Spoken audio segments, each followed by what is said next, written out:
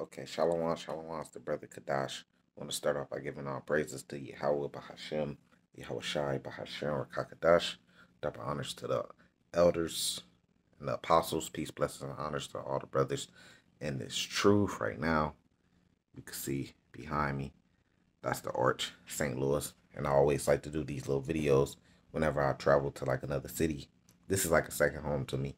But um, would the Lord destroy St. Louis. So I did one saying, Would the Lord destroy Chicago? So this one is, Would the Lord destroy St. Louis? You know, don't rush to answer the question. You know, I know a lot of brothers already know the answer to that, you know, say, but uh, earlier this morning when I woke up, I seen something on, um, it was on the app and it's it's it was asking the question is America a utopia, right? So if you don't know what the word utopia means, then um you could just go google it you know or think of i forget the name of that cartoon but it was like an old school cartoon called the jets or something something like that where pretty much humans on earth was living just living it up you know and pretty much like robots and what you see happening now elon musk just came out with a robot or they're finna come out with a robot the narrow chip thing the Mark of the Beast, which is the implant chip, pretty much where computers,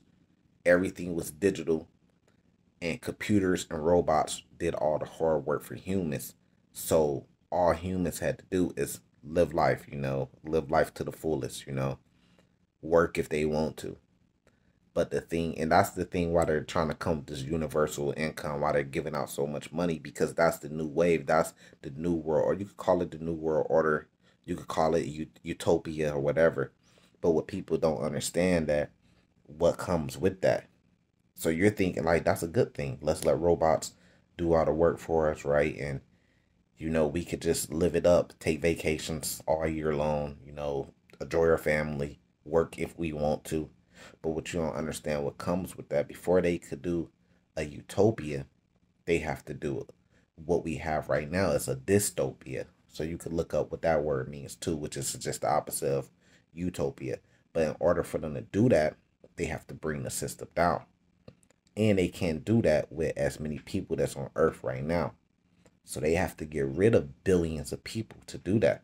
That means a lot of death, that means a lot of mourning, a lot of sorrow, a lot of pain.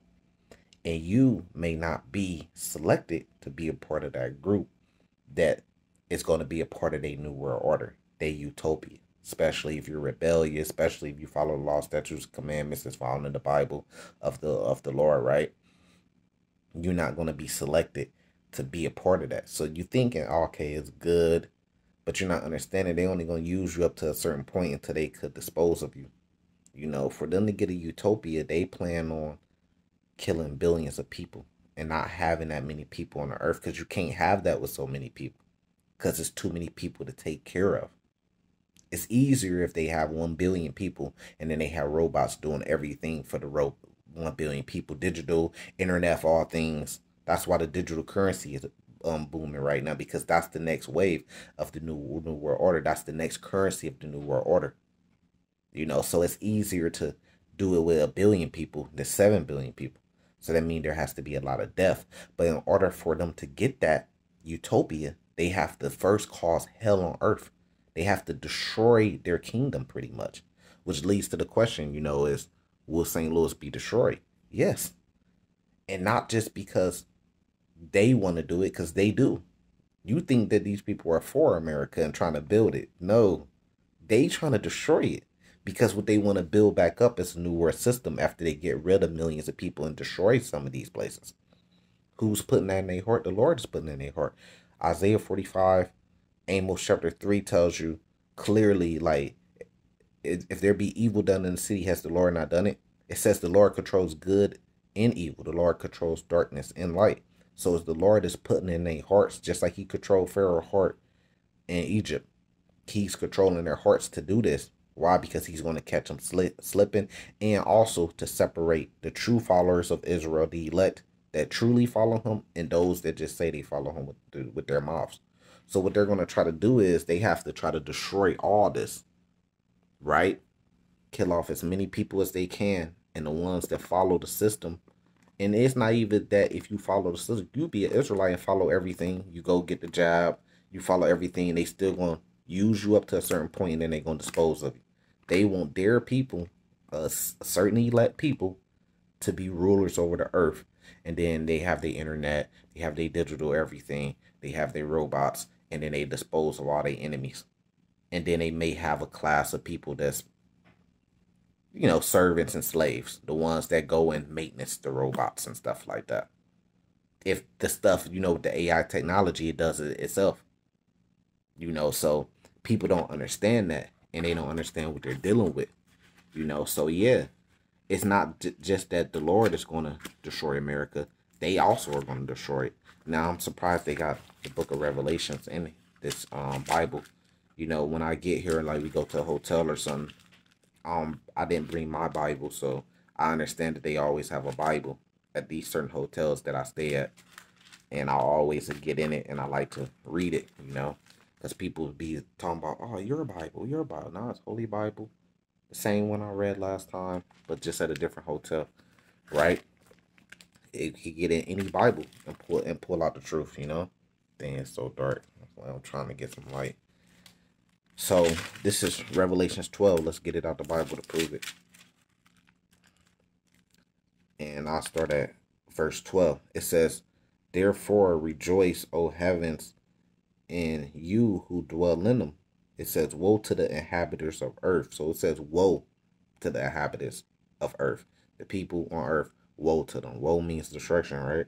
So it says, um, For the devil has come down to you having great wrath because he knows that he has a short time. So that's why, you know, in the book of Matthew, the Lord went preaching because first John the Baptist went preaching saying, um, ye, um, the kingdom is at hand. He went preaching saying the kingdom is at hand, the kingdom is at hand. And then you see after that when the Lord came on the scene, he used that same thing. He went around saying, look, repent ye for the kingdom is at hand, right? So that's the thing is that the kingdom is at hand. The closer we get to all this being destroyed, because the Lord is coming back to destroy the world, just in case you didn't know. The world is wicked, so the Lord is coming back to destroy it. So you shouldn't follow the world because this is the same world that the Lord is coming back to destroy. But the closer we get to all these prophecies being fulfilled, the closer we get to the kingdom. So the devil understands that and he knows that. Because what's the greatest sign? The prophets coming back. His people waking up following him, the law, statutes, commandments. He could see that happening, especially with all the groups and camps and stuff. So with him seeing that, he like, look, my time is short. So he's going to come down with great wrath in order to do what? To try to complete, complete that new world order. To try to get that new world order. His agenda. You know, the mark of the beast. The image you know, to try to complete that because the Lord is putting in his heart to try to do that. So for him to do that, he has to come down with great wrath on the people to get everything in order so they could put up a fight against the Lord when the Lord comes back. So the kingdom is at hand, you know. So yeah, we these are great times actually. A lot of people in fear. But then the Lord said, look, fear none of these things. I think that's like Revelations 2. Then the Lord say, fear in the Lord, have trust in the Lord, have faith. So what are you afraid for?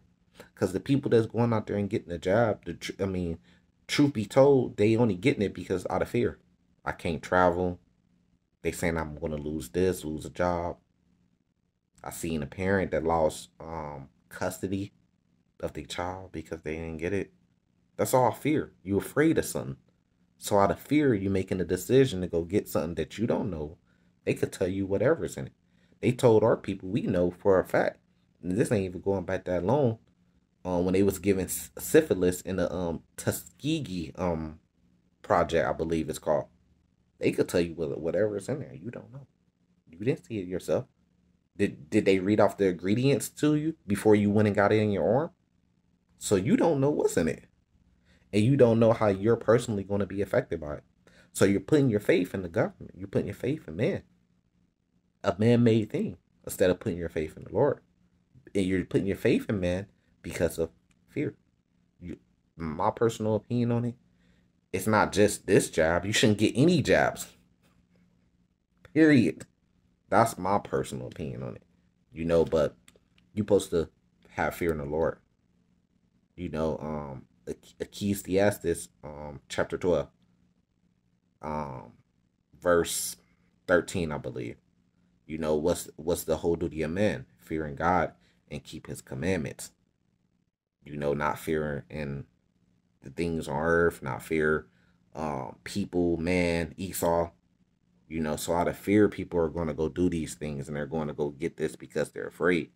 But like I said, the devil had great wrath on you. So the question was, and let me see if they got this book in here before I um bring this priest up. Off. So the question was, it was like, it should be coming up soon. Is the Lord going to destroy? Oh man, St. Louis. You know, since we're here, I did one with Chicago. Maybe I bring out the same precept, right?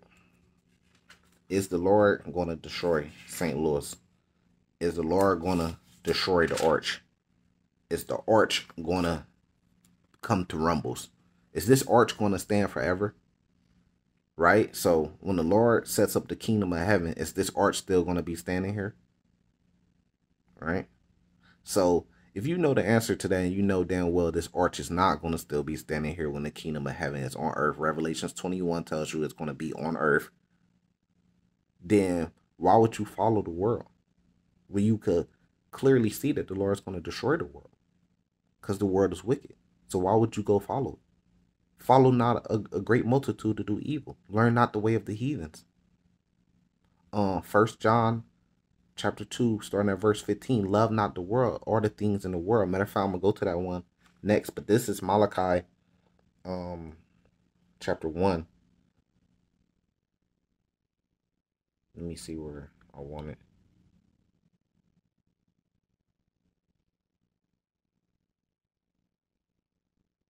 That's weird. Here's Salaki, because that's weird. Okay, it's right here. Just different writing. It says, but I think it means the same thing. Let's just read it. You know, verse 3. I'll start at verse 3. It says, But Esau have hated and laid waste his mountains and his heritage for the jackals of the wilderness. That's what's throwing me off. it says, Even though Edom has said, We have been impoverished, but we will return and build the desolate places, because they did. You know, they came, they build America on the backs of the Israelites, right? And they cities. So they have a city like St. Louis, right? So they said, um, we will return and build the desolate places. Thus say the Lord of hosts, they may build, but I will throw down. So the Lord said, they may build. They may build up a whole place called America, which is Mystery Babylon in the Bible, going back to Revelation 17, Revelation 18. They might build up a New York. They might build up a Chicago. They might build up a LA. They might build up a Florida. They may build, but I will throw down. So when the Lord comes back, he said, look, he's going to throw down. So will St. Louis be destroyed? Yeah, because he's going to throw it the fuck down, man. It says, they should be called the territory of wickedness. They, it's talking about a man, a group of men, you know, called the Edomites. That should be called the territory of wickedness who's done the most wickedness on earth. If you just take the transatlantic slave trade and you take the genocide of the Native Americans, those are the two worst events ever on earth. The two most wickedest events on earth, if you take it in the totality, right? And who was that done by? Who hands was that done by? Did the Japanese do that? You See what I'm saying? Did the Chinese do that? Did the Arabs do that? Y'all love to say the Arabs are the Edomites. Did they do that? We know they're they're the Ishmaelites. They go back to Ishmael. They tell you that they selves. Did they do that? Who did it? You know, um, it says, um, and the people against whom the Lord will have indignation for forever. So not that the Lord chooses Jacob over Esau. He just favors Jacob more over Esau. No, it's that the Lord actually hates Esau. That's why he said you will have indignation forever. Right? So, I mean, we got to deal with that. So it said, look, they built, they built their cities, but the Lord will throw down. Now I want to jump back since I did mention it. Um, let me see if I could find it because I don't. It's seeming like this ain't got all the books in it, but it. I think it does.